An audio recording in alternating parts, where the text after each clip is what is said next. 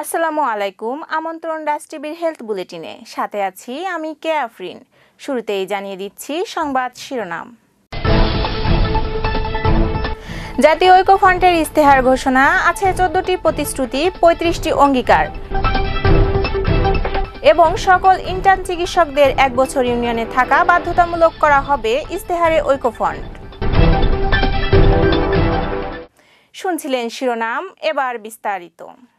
একাদশ জাতীয় সংসদ নির্বাচনের সামনে রেখে বহুল প্রত্যাশিত ইস্তেহার ঘোষণা করেছে জাতীয় ঐক্যফ্রন্ট।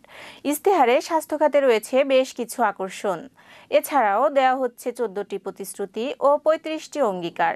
শিক্ষিত ও তরুণ প্রজন্মের ভাবনা এবং তাদের চাহিদার বিষয়গুলো স্থান পেয়েছে ইস্তেহারে জাতীয় ঐক্যফ্রন্টে একাদশ জাতীয় সংসদ নির্বাচনে জয়ী হলে আগামী পাঁচ বছরের মধ্যে এসব অঙ্গীকার ও প্রতিশ্রুতি বাস্তবায়ন করবে বলে ইস্তেহারের ঘোষণায় বলা হয়েছে। সোমবার বেলা এগারোটা ছাব্বিশ মিনিটে রাজধানীর পূর্বাণী হোটেলে ইস্তেহার পাঠ শুরু করেন নাগরিক ঐক্যর মাহমুদুর রহমান মান্না। নির্বাচনে জিতে সরকার পরিচালনার দায়িত্ব পেলে জাতীয় ঐক্যফ্রন্টের রাষ্ট্রীয় সকল নাগরিক কল্যাণে সরকার পরিচালনা করবে। এই পরিচালনার মূলনীতি হবে ঐক্যমত্য, সকলের অন্তর্ভুক্তি এবং যে কোনো রকম প্রতিহিংসা থেকে মুক্ত থাকা। আজকে সবাই নিজে নিজে জিজ্ঞেস করে, আমরা কি দেশের মালিকের ভূমিকা রাখতে পারছি? এই যে পাইকারি হারে দুর্নীতি হচ্ছে, এটা কি আমাদের অনুমতি নিয়ে হচ্ছে? আমরা এটাকে প্রশ্রয় দিচ্ছি। কারা করছে? বিনা জনগণের কোনো কাছে ক্ষমতা না পেয়ে তারা ভাবছি এটার জন্য আমরা দায়ী না। কেন কেউ বলতো, আপনাদের প্রতিনিধি তো সরকার, ওরাই একক করছে।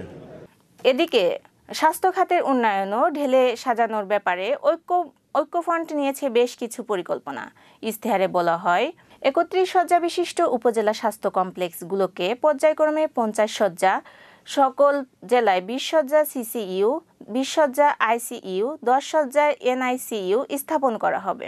পুরাতন একুশ জেলায় অগ্রাধিকার ভিত্তিক একটি করে কিডনি ডায়ালাইসিস সেন্টার এবং একটি করে ক্যান্সার কেমোথেরাপি সেন্টার গড়ে তোলা হবে এবং পর্যায়ক্রমে তা সকল জেলায় প্রতিষ্ঠার ব্যবস্থা করা হবে। সকল ইন্টার্ন চিকিৎসকদের এক বছর ইউনিয়ন পর্যায়ে স্বাস্থ্য ও পরিবার কল্যাণ কেন্দ্রে সার্বক্ষণিকভাবে অবস্থান করে এক বছর প্রশিক্ষণ নেওয়া বাধ্যতামূলক করা হবে। তিন মাসের মধ্যে ওষুধ এবং ডায়াগনস্টিক পরীক্ষার খরচ উল্লেখযোগ্য পরিমাণ কমানো হবে। এছাড়াও সকল বড় জেলা শহরে জেনারেল প্র্যাকটিশনার প্রথা সৃষ্টি করে দ্রুত যথাযথ চিকিৎসার জন্য রেফারেল ব্যবস্থা কার্যকর করা হবে। স্বাস্থ্য ব্যবস্থাপনা শৃঙ্খলা নিশ্চিতকরণের জন্য একজন ন্যায়পাল নিয়োগ দেওয়া সহ বেশ কিছু নতুন পরিকল্পনা হাতে নেবে ঐক্যফ্রন্ট।